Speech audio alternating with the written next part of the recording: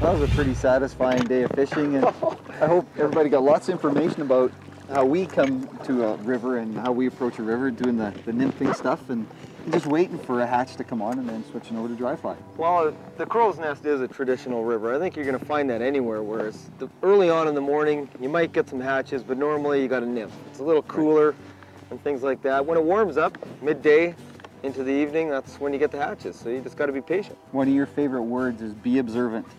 Yeah. And that's what you gotta do, be observant, watch for fish rising, and that's that's the key to go to dry fly. Watch, yeah, exactly. Like you're saying, watch for fish rising, and also watch for for bugs in the air, bugs on the water. I mean, we just saw the old bomber. Our camera guy says, "Look at the size of that thing," and we saw one of the big green drakes, and all of a sudden we started noticing them coming off, and and wow.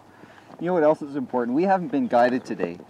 Not that that's not important, but was important is we stopped at the Crowsnest Angler when we first got here and saw Vic Bergman and said, hey Vic, you know, how's it going? He guides in the Crowsnest River here all the Yeah. time.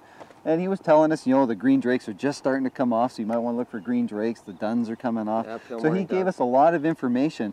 And whenever you go anywhere to fish, stopping at a guide's shop or talking to a guide is invaluable. It is for sure, and also I, I mean, I tie my own flies. You tie your own, but I always pick up some of the favorites. Yeah, some of the local flies because That's they're going to catch the yeah, fish. dry they're- fly, yeah. you know, and then you can copy them. Uh, just learn from it. Take some of the local flies and learn from it. Yeah, I think it's great. it's been a lot of fun bringing you today's show. When you get out in the wild, take care. And conserve our waters. Hey, great fisheries like this one, can't beat it. It's special. See you next time. When we take you sport fishing on the fly.